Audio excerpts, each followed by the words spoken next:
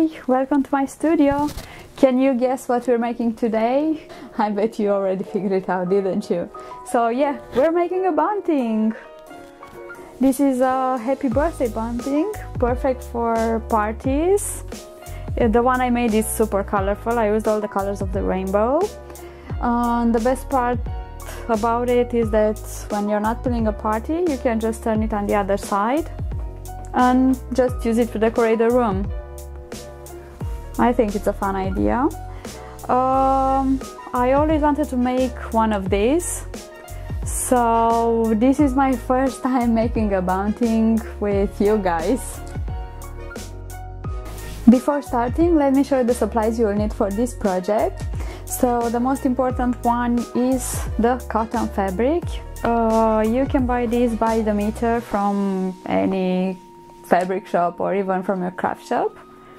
And uh, the best thing about it is that you can use your fabric scraps.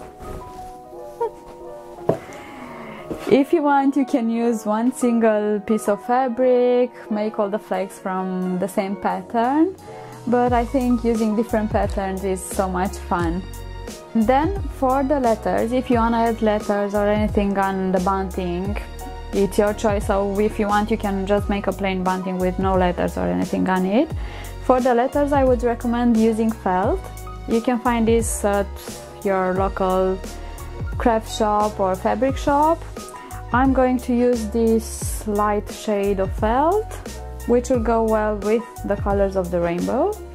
And why using felt? Because you can easily cut it in any shape without worrying that the edges will fray so yeah I would recommend felt for the letters and for assembling the bunting uh, you will need some bias binding. You can find this by the meter or in um, individual packs like this. Or if you don't have bias binding you can easily use a very wide ribbon. I would recommend like 3 meters of bias binding or ribbon for your bunting if you're making the happy birthday bunting. Or you can easily make your own bias binding. If you would like me to make a tutorial on how to make your own bias binding please let me know in the comments below.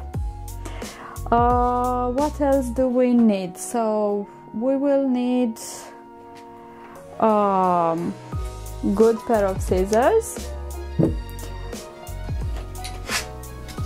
a ruler or just a measuring tape and a pencil to make some marks on the reverse of the fabric. A needle and thread or a sewing machine. I'm using my brother's sewing machine for this project. So yeah i think that's about it. Let's uh, get started. So come closer and i'll show you step by step how to create the flags and how to assemble everything we need to create this sort of triangular double-sided flag. In order to do so, take your fabric, which should be 16 inches wide, and uh, fold it in half. So now it should be 8 inches wide.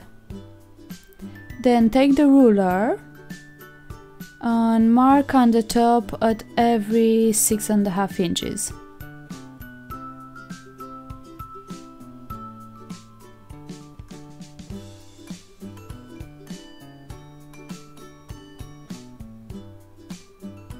On the bottom, start with a three and a quarter inch mark, then mark at every six and a half inches, same as on the top side.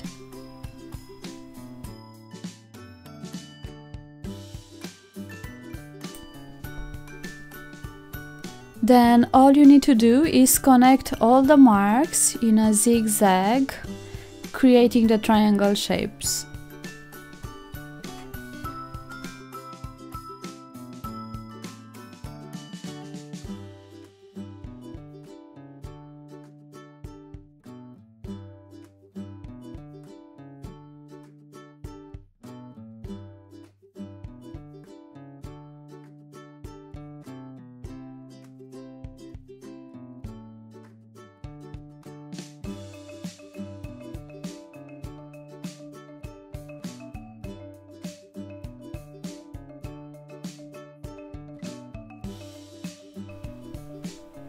Next, cut out all the triangles.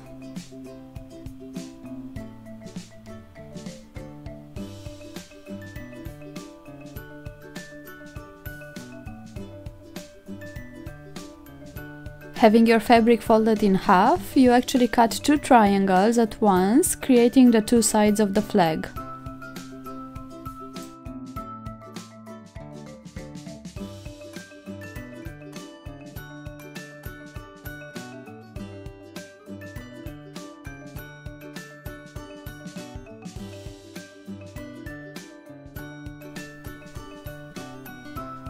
Cut as many triangles as you will need for your bunting. I used 16 flags, 13 for the letters, plus 3 more for the sides and separating the words.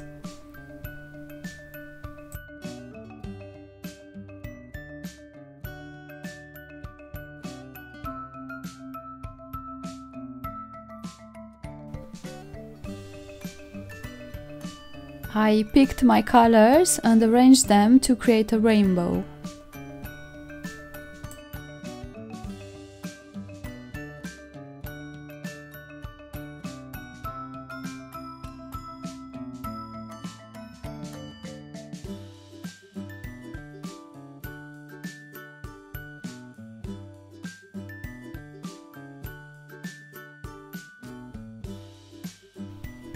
Print and cut out the happy birthday letters, which should be around 2 by 3 inches.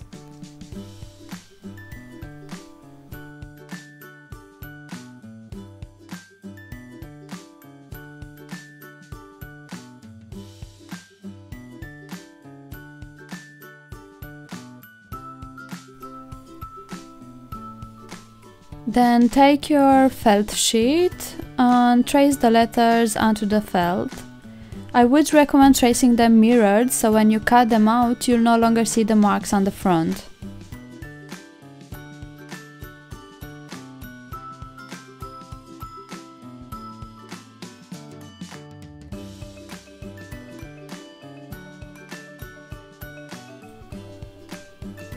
Place the letters onto the flags and pin them on the front side only.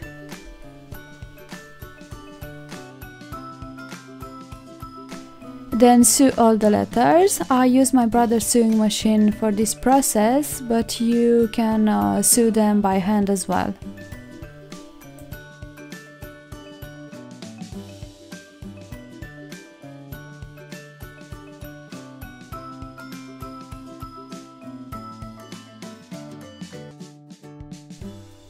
So this is how the flags look like so far.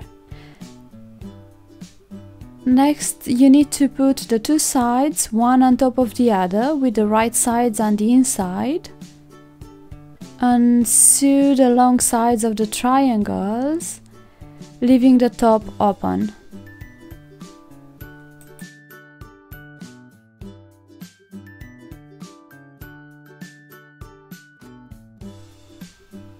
After sewing, trim the seam allowances if necessary of course and snap the angles.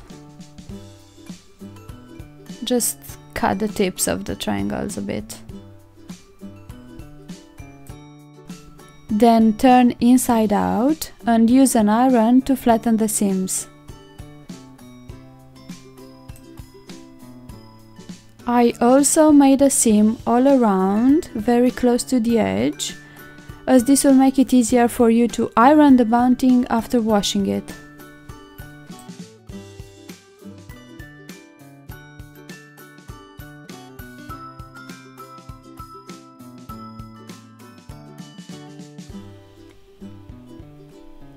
Arrange the flags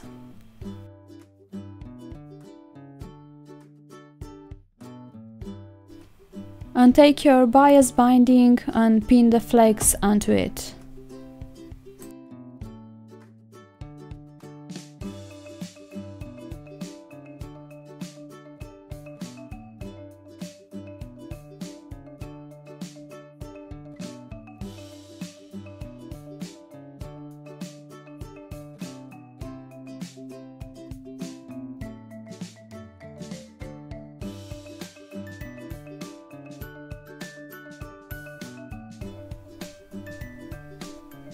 Leave an 1 inch gap between the flags.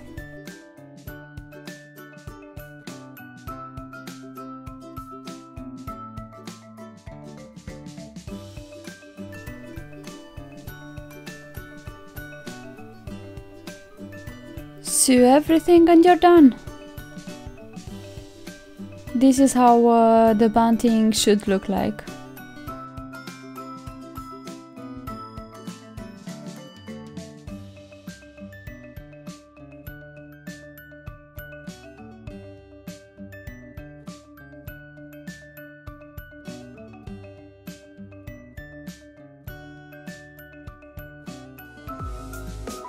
Here is the final result. I kinda like how it turned out. It has all the colors of the rainbow. And on each end I made a loop for hanging and made another one for my daughter's room. This one has her name on it.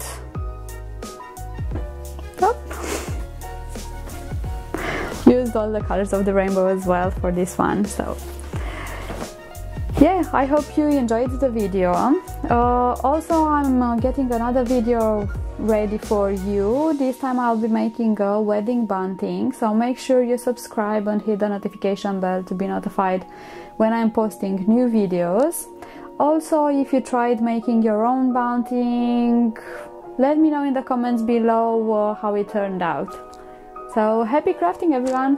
See you soon. Bye. Guys, welcome to my studio. Let's do a new project. Yay! Uh, before before starting, let me show you the here's all of your scraps. a good pair of scissors